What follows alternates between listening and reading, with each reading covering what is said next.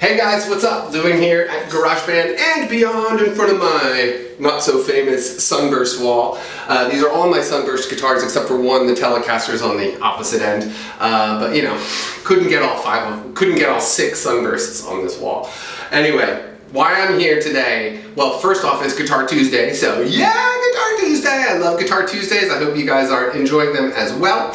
But I'm making a big announcement to you guys out there about me and something I have planned uh, for myself, and that is that I'm going to start taking guitar lessons again. It has been 22 years, I think, somewhere around 22 years since I sat down with an actual guitar teacher and had some real good, you know, one hour sessions of learning on the guitar. Um, and like a lot of guys out there, I've, you know, I've bought books, I've watched the online lessons, I've done all this stuff that you can do independently, but I have been plateaued for a very, very long time.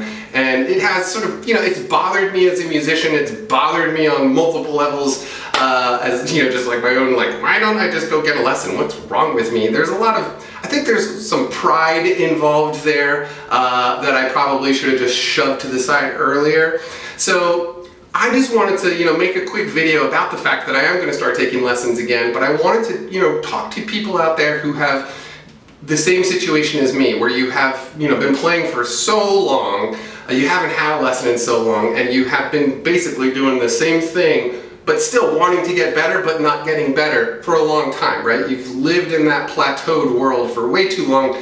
Um, so I'm doing it, and so that means that you should be able to do it because if I can do it, anybody can do it, because trust me, I am a stubborn guy when it comes to stuff like that. But my good friend Jimmy Faber, who I have made videos with, I'm going to put a link to the lesson that he did here on GarageBand and Beyond below, and there's probably something popping up now.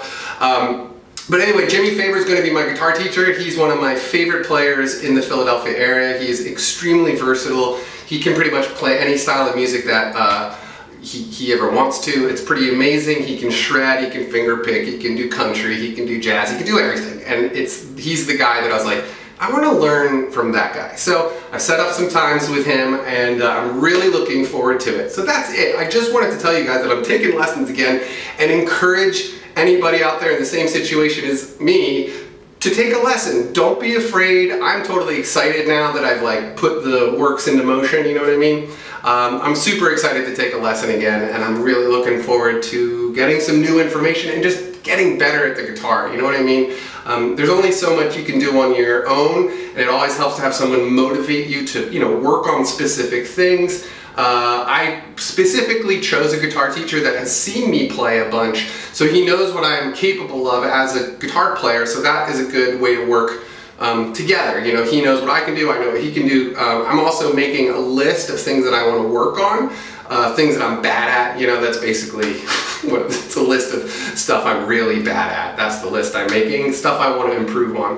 Uh, but yeah, that's it, you guys. Short video today, but I encourage you to go out there, find a good teacher, and get back on that lesson train because it should be really fun. And you'll just get better as a musician, hopefully. So I encourage you to do that because I'm doing it, all right? So that's it. You guys have an awesome day. As always, thanks for hanging out and watching the videos that I make here on my channel. There's lots of them here, so check them all out. Uh, and, you know, hit the subscribe button. I do have a Patreon page if you guys want to help support the channel that way because that definitely does help my channel. So check out the Patreon page for GarageBand and beyond, and I think that's about it. All right, you guys have an awesome day. Peace.